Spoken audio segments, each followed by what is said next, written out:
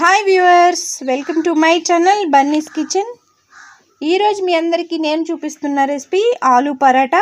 ఈ ఆలూ పరాటా నోట్లో వేసుకుంటే కరిగిపోయేలా చాలా టేస్టీగా ఉంటుంది. అండ్ పిల్లలకి లంచ్ బాక్స్లో పెట్టడానికి కూడా చాలా బాగుంటుందండి. ఆలూ పరాటా కావాల్సిన ఇంగ్రీడియంట్స్ వచ్చి నేను ముందుగా ఒక కప్పు గోధుమ పిండి తీసుకున్నాను.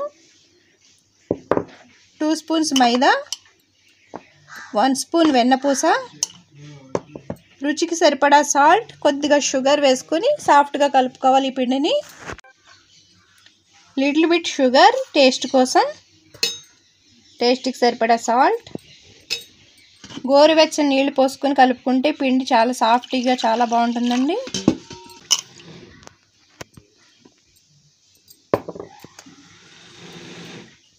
గోధుమ పిండి మైదా పిండి కూడా వేసుకుని బాగా కలుపుకోవాలి. నెక్స్ట్ ఒక్క స్పూన్ వెన్నపూస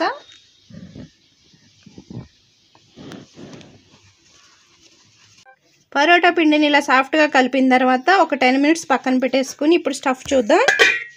రెండు మీడియం సైజ్ బంగాళదుంపలు ఉడికించి పెట్టుకున్నానండి. వీటిని మెత్తగా స్మాష్ చేసుకోవాలి.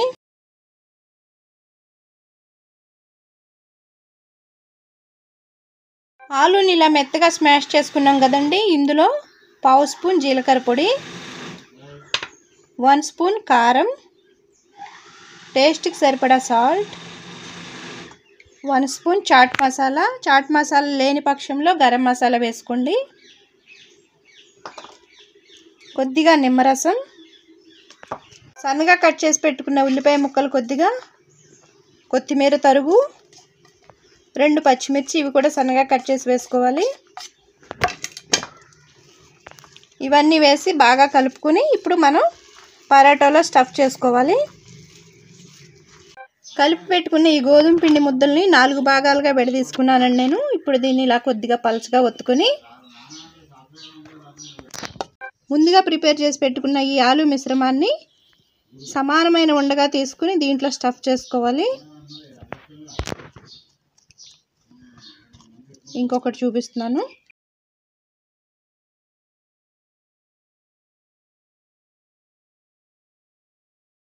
స్టఫ్ చేసిన ఈ పిండి ముద్దని చపాతీలాగా ఒత్తుకోవాలి.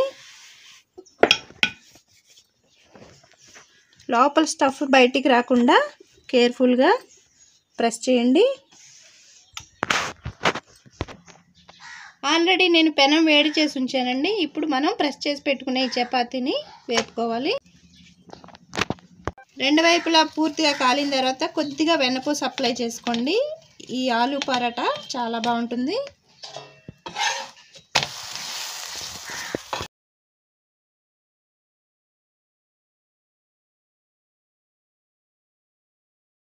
పరాటా రెడీ అయిపోయిందండి. ఇంకొకటి వేసుకుందాం.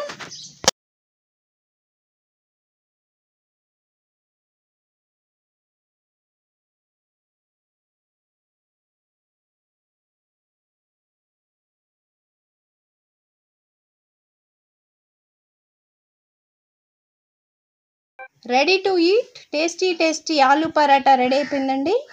మీకు కనుక మా ఈ రెసిపీ నచ్చినట్లయితే like share and subscribe my channel Bunny's kitchen. Thank you for watching